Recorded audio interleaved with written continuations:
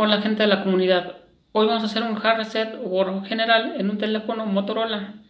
El modelo es el Moto E5. Para hacer el formato o borrado general es muy simple. Vamos a presionar botón de bajar volumen sin soltar. Enseguida vamos a presionar botón de encendido sin soltar. Podemos soltar los botones.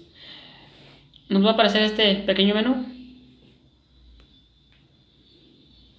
Me voy a enfocar un poquito la cámara. Está muy distorsionada.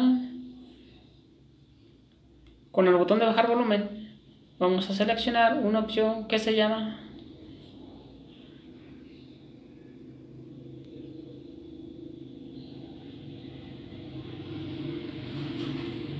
Ahí está mejorcito. Con el botón de bajar volumen vamos a seleccionar una palabra que se llama Recovery Mode y vamos a tocar botón de encendido. Aquí vamos a esperar un momento.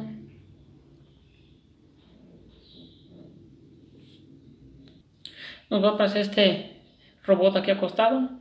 Para que nos aparezca el menú, el cual vamos a ocupar, vamos a presionar el botón de encendido sin soltar y rápidamente vamos a presionar el botón de subir volumen. Nos va a aparecer el tradicional menú. Vamos a bajar con el botón de bajar volumen a la opción que se llama Wipi Data Factory Reset y vamos a tocar botón de encendido. Aquí bajamos a la palabra Yes y tocamos botón de encendido.